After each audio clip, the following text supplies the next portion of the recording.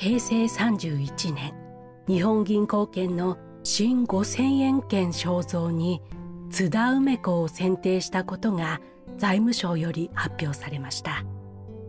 しかしその5000円券の見本画像に肖像画を反転しているのではないかという指摘が相次ぎます。当時の官房長官菅氏はさまざまな写真を収集しそれらを参考に国立印刷局の工芸館が彫刻を行って原案を作成する。既存の写真がそのまま日本銀行券の肖像として印刷されることはない。と表明しますがこの画像を参考に原案を作成するのであれば津田梅子本人の顔とは違ったものとなってしまうことやそれを正しい顔として多くの人が認識してしまうことになりかねないと懸念する方が多数いました。令和5年日本銀行発見局が示した原案の肖像は本人写真とかけ離れているようにも見受けられます。イメージのルフと定着に大きな役割を持つ印刷物。しかも国家が流通させる紙幣が正確性を欠くということは問題ではないでしょうか。このようなことも踏まえた上で今回は津田梅子がどのような人物なのかその真実の顔に目を向けご紹介していきたいと思います。初めて海を渡った6歳の少女。明治4年12月横浜を出港した大きな船に幼い少女の姿がありました。それは日本最初の女子留学生5人の中でも最年少の津田梅子です。梅子は源氏元年幕臣だった津田仙の次女として江戸の牛込南御徒町に生を受けました明治2年梅子が5歳の頃幕府崩壊に伴い父仙は官職を辞し外国人のために建てられた築地ホテル館という洋風旅館に勤務することになり一家で向島に移り住みます。梅子は踊りの稽古や手習いをしたり、父が栽培した西洋野菜農園の作業を手伝ったりして暮らしていました。幕府の通訳として渡米した経験のある父の応募で、日本初の女子留学生となり、アメリカへ渡ることとなった梅子。たった6歳で家族と離れ、岩倉使節団総勢107名と旅立ちました。アメリカで梅子の受け入れ先となったのは、ワシントンに住むランマン夫妻でした。子供のいなかった二人は、梅子を天からの授かり物と言い、実の娘のように可愛がります。ランマン宅から通える私立小学校、スティーブンソンセミナリーで教育を受けた梅子。吸収力が高く、聡明な彼女は、渡米9ヶ月後には、A Little Girl's Stories と題したアメリカまでの船旅についての絵日記風冊子を英文で書き上げ、夫妻を驚かせました。また一年後には、梅子自らが望んでキリスト教の洗礼を受けたことにも、ランマン夫妻は驚くとともに喜びを感じていました。その後、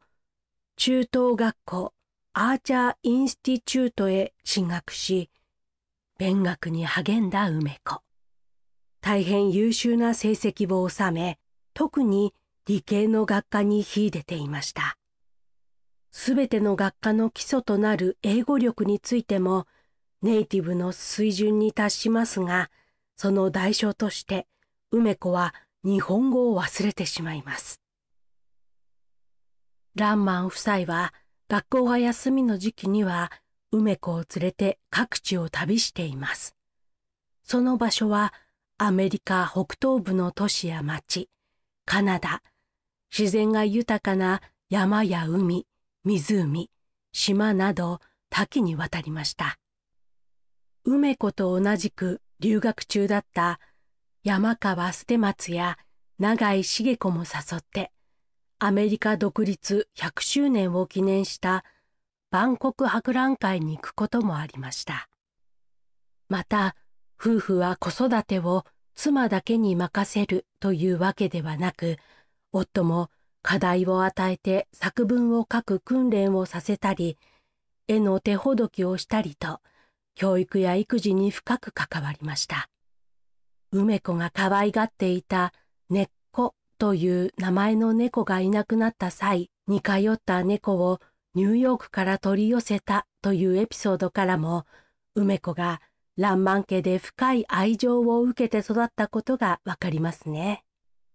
このような子供を中心として夫婦が互いに寄り添い尊重し合う愛のあふれる家庭で育った11年間は梅子のその後の人生に大きな影響を与えることとなりました。明治15年、梅子はアーチャー・インスティチュートを優秀な成績で卒業すると、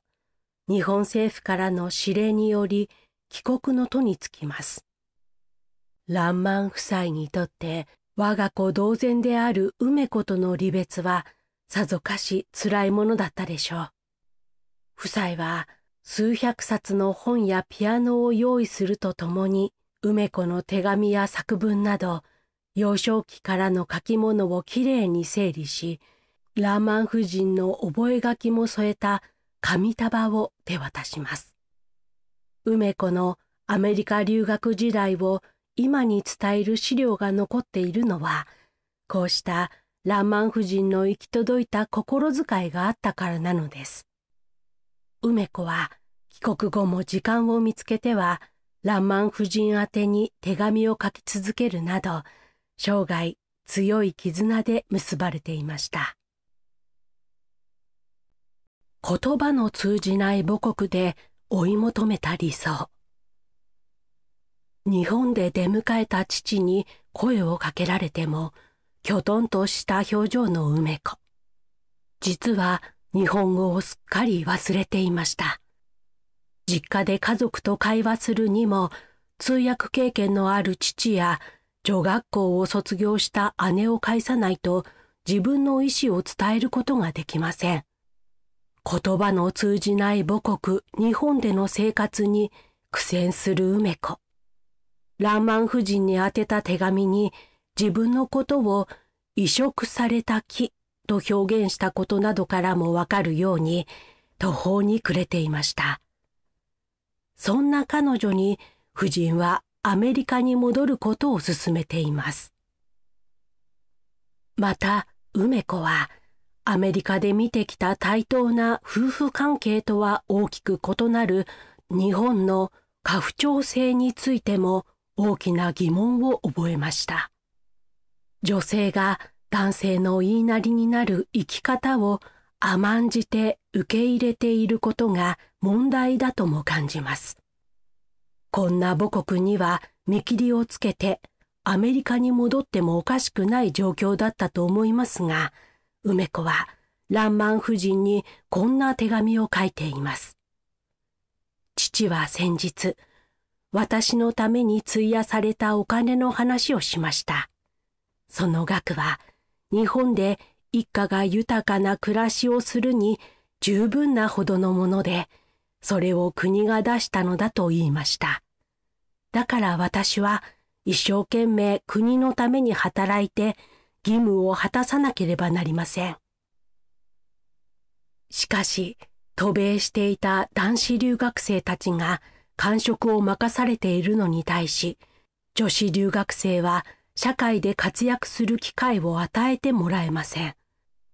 完備留学させてくれた国のために尽くそうと志を持ちながら、理想とは程遠い日本の現実に、梅子は失意の日々を送りました。そして帰国後、一年が経っても身が定まらない梅子に転機が訪れます。それは岩倉使節団として共に海を渡った伊藤博文との再会でした。二十歳の頃、伊藤に雇われて英語指導や通訳のため、伊藤家に半年ほど滞在することとなります。その後、明治18年22歳の頃、伊藤の推薦により、家族女学校英語教師に就任。念願だった国のために働く仕事を与えられるも、良妻賢母の育成を教育方針に掲げる同校は、梅子が理想として思い描くアメリカのような自立した女性を育てる場とはかけ離れたものだったのです。こうした女性教育の現場に落胆するとともに、何度も進められた縁談にも辟易していた梅子。すべての話を断り、生涯未婚を誓っています。これには、夫婦が協力し合う爛漫夫妻を見て育った彼女が、妻が夫に尽くすという日本の結婚観に強い憤りを感じていたからかもしれません。志は高く、再びアメリカに。梅子の推薦により、家族女学校に勤務するため来日していた友人、アリス・ベーコンとの対話などを通して、梅子は日本人女性の自立を目標とした教育ができる学校を自分自身で作りたいと考えるようになります。そこで教師としての技量を上げるため、再度アメリカへ留学することを決意。しかし、今回は国費を使用するわけにはいきません。ランマン夫妻へ相談したり、一度目の留学で地遇を得たモリス夫人を頼ったりして、二度目の留学を実現させました。明治22年、27歳の梅子はアメリカのブリンマー大学で生物学を専攻し、勉学や研究に先進します。日本の学校とは全く異なる男女の分け隔てなしに学問を追求できる質の高い教育環境で学んだことはその後の梅子の教育観に大きな影響を与えました。また大学在学中に講演や募金活動で資金を集め身分や貧富の差にかかわらず志のある女性が学ぶ機会を得られるようにと日米婦人米国奨学金を設立。後にこれを利用して日本人女性25名を留学生として送り出しました。明治25年帰国後は家族女学校へ復職するとともにお茶の水女子大学の前身である女子高等師範学校の教授も兼任して多忙な毎日を送りました。そして明治31年34歳の時に日本代表としてアメリカで行われたバンコク婦人連合大会に私費で出席します。着物で颯爽と登場した梅子の堂々たる英語スピーチは大喝采を受け一躍時の人となりました。その後の各国歴訪の際には当時17歳だったヘレン・ケラーとの会談やイギリスでナイチンゲールとの面会も果たしています。身長140センチ余りと小柄な体で梅子は精力的に世界を渡り歩き日本の女性教育の現状を訴えて回りました。日本の女性よ立ち上がれ。津田塾大学の前身。女子英学塾開校。明治30年。36歳の梅子は父やアリス・ベーコン。重子。捨松らの協力を仰ぎ女子英学塾という小さな学校を東京麹町に開校しました。自由で開かれた校風、少人数教育を基礎としたレベルの高い講義内容、英語を通して国際的視野を持つ女性の育成という梅子の理念に基づいた教育は、内外の協力者や進歩的な層の共感を呼び、学生10名から始まった同校は、開校8年後には学生150名を抱えるようになりました。独自の教育方針を妨害されず貫き通すため、資金援助は極めて小規模であったため、運営は厳しく、梅子自身ほとんど無報酬で教鞭を取り、招聘したアリスや捨松、茂子もボランティアとして協力していました。そしてこれを知った梅子を応援するアメリカの婦人たちから次々と多額の寄付が寄せられます。梅子は寄付金を生徒の奨学金に充て、貧しい小学校卒業だけの生徒も受け入れました。そしてその一人一人に寄り添い、厳しくも細やかで真剣な指導を続けました。学校創設当初からの無理もたたり、体調を崩していた梅子は、運営が軌道に乗った大正8年、54歳の頃から鎌倉での病気療養に入ります。闘病の末、昭和4年、ストーム・ラスト・ナイトという日記を書き残し、梅子はこの世を去りました。去年64歳。幾度もの船旅における文字通りの嵐も、